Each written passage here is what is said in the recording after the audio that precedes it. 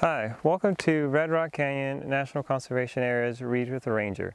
I'm Ranger Danny, and today we'll be reading Guess Who's in the Desert by Charline Profiri and illustrated by Susan Swan. During the desert's sizzling heat, guess which critters you might meet.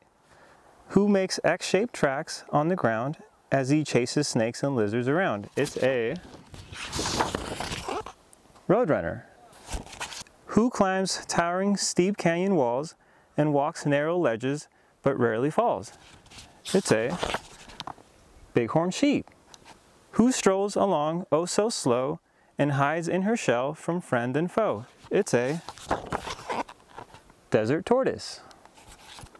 Who has tufted ears and oversized paws? His tail is bobbed and he has sharp claws. It's a bobcat. Who nests in a cholla cactus plant where she can go but predators can't? It's a cactus wren. Who struts with a top knot that bobs and sways as he guides his young ones on a sunny day? It's a Gambel's quail. Who hides beside the dusty trail hoping to catch a strutting quail? It's a diamondback rattlesnake, who has bristly hair, grunts like a pig, and uses his lengthy snout to dig. It's a javelina, whose eight legs are long and hairy. Some folks think he's super scary. It's a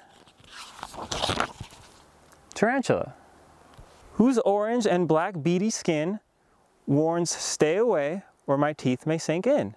It's a Gila monster, who can climb trees to search for prey, her furry back silver gray.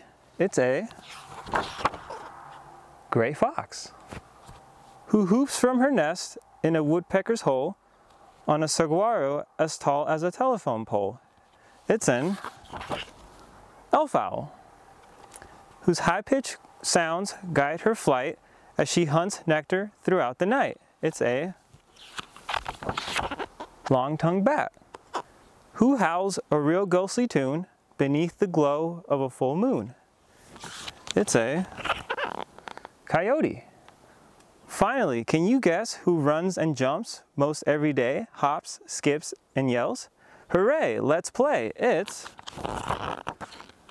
you and me and all our friends. The end. Hope you enjoyed Guess Who's in the Desert and thank you for uh, joining us.